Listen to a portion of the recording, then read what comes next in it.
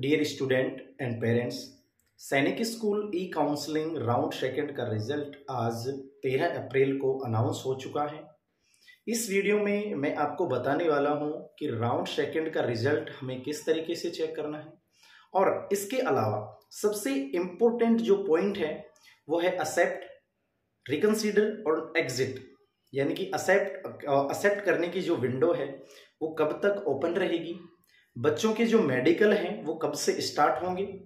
Medical की last date कब रहेगी? डॉक्यूमेंट वेरिफिकेशन कब तक करवाना है? तो इन सभी पॉइंट पर हम यहाँ इस वीडियो में डिस्कस करेंगे। लेकिन सबसे इंपॉर्टेंट जो पॉइंट है हमारा, वो है accept reconsider and exit button के बारे में। यानी कि इसकी लास्ट डेट कब है और आपको किस तरीके से इनमें चॉइस ऐड करनी है। तो चलिए स्टार्ट करते हैं। साथियों सबसे पहले हमें all India Sainik school admission counselling की ऑफिशियल वेबसाइट को ओपन करना है, जैसा कि आपने राउंड फ़र्स्ट में देखा होगा। इस और फिर हमें लॉगिन बटन पर क्लिक करना होगा।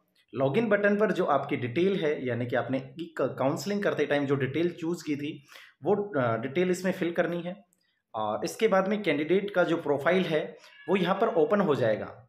लेकिन हमें जो हमारे लेफ़्ट हैंड साइड में जो मेनू बटन है, इसके ऊपर हमें क्लिक करके कैंडिडेट के रिज़ल्ट में जाना होगा। कैंडिडेट के रिज़ल्ट का सेक्शन ओपन हो जाएगा। इस तरीके से कैंडिडेट का रिज़ल्ट का जो सेक्शन है, ये ओपन हो चुका है। अब इसमें जो सबसे इम्पोर्टेंट बात है कि यहाँ पर तीन बटन आपको देखने के लिए मिलेंगे। सबसे पहला जो है, वो है accept accept and continue second है रिकंसीडर एंड थर्ड है एग्जिट और इस, ये जो पॉइंट है, इस पर पेरेंट्स ने पिछली बार बहुत ज़्यादा गलती की थी, क्योंकि कुछ बच्चे जो हैं, वो गलती से एग्जिट पर क्लिक कर कई बच्चों ने गलती से एग्जिट पर क्लिक कर दिया था। कोई, कुछ बच्चे रिकन्सिडर करना चाहते थे, लेकिन उन्होंने एक्सेप्ट कर लिया था, और कुछ बच्चे एक्सेप्ट करना चाहते थे, उन्होंने रिकन्सिडर कर दिया था।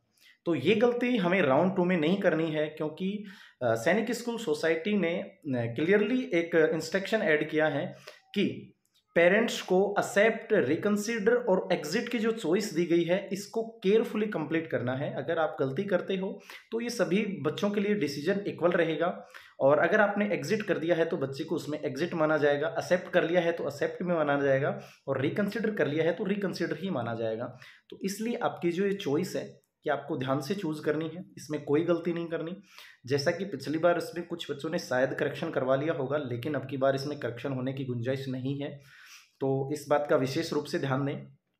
अब सेकंड पॉइंट जो है हमारा, वो ये है कि सैनिक स्कूल की जो काउंसलिंग है, इसका रिज़ल्ट तो आ चुका है, लेकिन इसमें हमारे पास जो असेप्ट रिकन्सिडर और एग्जिट जो बटन है, इसमें हमें एक्सेप्ट करने के लिए सैनिक स्कूल के द्वारा कितना टाइम दिया गया है? तो हमें काउंसलिंग प्रोसेस में जाकर काउंसलिंग शेड्यूल में हमें जाके ये चेक करना होगा। और यहाँ पर आपको दिखाई भी दे रहा है registration and choice filling last date तो यहाँ पर तेरह थी और रिज़ल्ट जो है वो आज अनाउंस हो चुका है। अब सबसे इम्पोर्टेंट बात है last date for accept allotted school जो रहेगी राउंड सेकंड के लिए। अट्ठारह अप्रैल 2023 और रात को आप ग्यारह बजकर पैंतालीस मिनट पर आप ग्यारह, रात को ग्यारह बजकर पैंतालीस मिनट तक का आपको टाइम दिया गया है। तो जिस भी कैंडिडेट को एक्सेप्ट रिकन्सिडर और एग्जिट बटन में जो भी चॉइस उनको चूज़ करनी है तो आपके पास 18 अप्रैल तक का टाइम सैनिक स्कूल सोसाइटी के द्वारा दिया गया है। तो इसी टाइम के अंदर आपको ये प्रोसेस कंप्लीट करनी है। ऐसा नहीं हो कि आप किसी भी कारण से लेट हो जाएँ और फिर बच्चा अच्छे मार्क्स चलाने के बावजूद भी उसमें रह जाए तो ये गलती पेरेंट्स ना करें। जो गलती उन्होंने राउंड फ़र्स्ट में की है, उसका दोहराव बार बार ना करें। मैं आपको बार बार बोल रहा हूँ। सेकंड बात आती है, इसमें जो मेडिकल टेस्ट है, वो कब से स्टार्ट होंगे? तो मेडिकल जो मेडिकल टेस्ट है कैंडिडेट के, वो 15 अप्रैल 2023 से स्टार्ट होंगे और ये 9 बजे से स्टार्ट हो रहे हैं और ये 27 तारीख तक ये मेडिकल जो हैं, ये चलेंगे। यानी कि जो मेडिकल और डॉक्यूमेंट्स वेरिफिकेशन की जो लास्ट डेट है राउंड सेकेंड के लिए वो 27 अप्रैल 2023 रहने वाली है। यानी कि राउंड सेकेंड की जो प्रोसेस है, वो 27 अप्रैल को कंप्लीट हो जाएगी। अब एक इम्पोर्टेंट जो इसमें है जो बच्चों को फिर से इसमें प्रॉब्लम आती है, वो मेडिकल का एग्ज़ाम डेट, वेन्यू और इन सभी के बारे में। तो देखिए, फिर से हमें, हमारा ये डाटा है, ये लॉगिन करना पड़ेगा। और यहाँ से हमें बस मेन्यू बटन पर जाना है। मेन्यू पर कैंडिडेट रिज़ल्ट में जाना है। कैंडिडेट रिज़ल्ट का जो सेक्शन है, ये आपके सामने इस तरीके से ओपन हो जाएगा। अब देखिए, आपके पास तीन चॉइस यहाँ पर दी गई है। अगर आप एक्सेप्ट एंड कंटिन्यू करते हैं तो आपकी जो मेडिकल डेट है वो कहाँ आपको मिलेगी? अगर रिकन्सिडर करते हैं तो बात ही अलग है फिर तो आपको राउंड थर्ड के लिए आपको इंक्लूड कर दिया जाएगा और एग्जिट करते हैं तो आपको परमानेंट ई काउंसलिंग से बाहर निकाल दिया जाएगा। अब जैसे बा, बात करते हैं कि हम कैंडिडेट का जो मेडिकल वेन्यू है वो कहाँ मिलेगा? अब जब कैंडिडेट एक्सेप्ट बटन पर क्लिक कर लेता है तो जो अलॉटमेंट डिटेल्स है यहाँ पर आपको medical centre and reporting time यहाँ पर आपको कैंडिडेट का जो रिपोर्टिंग टाइम है मेडिकल का डेट है, ये सभी आपको यहाँ पर मिल जाएँगे।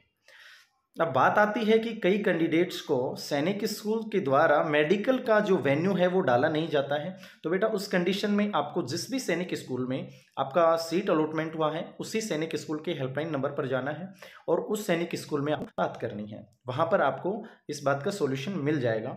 एक बार मैं फिर से रिपीट कर रहा हूँ, जो आपकी चॉइस जो है यानी कि एक्सेप्ट रिकन्सिडर और एग्जिट की। ये इसकी लास्ट डेट जो है, ये 18 अप्रैल है। तो 18 अप्रैल से पहले पहले आपको डिसीज़न बना लेना है कि आपको क्या करना है। पिछली बार जो मिस्टेक की, वो अब नहीं करनी है। ध्यान रहे।